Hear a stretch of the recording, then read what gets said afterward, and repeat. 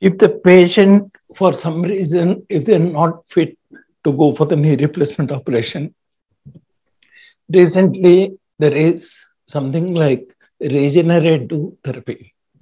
We're offering them the previously we used to give them medication, physiotherapy, and intraarticular shots.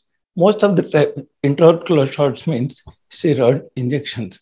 But in some of these patients, like diabetes, uncontrolled diabetes, if they're obese, immunocompromised patient, these steroid injections into the joint will have some complications. Like most, uh, uh, I mean, like dreaded complication is infection. So these kind of people, we can offer them. Recently, it came into the practice. It is called PRP, platelet-rich plasma.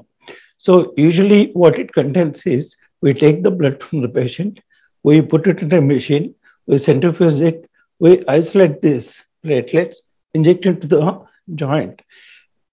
Most of the times what happens is these platelets will release the growth factors and heal whatever the damage has happened.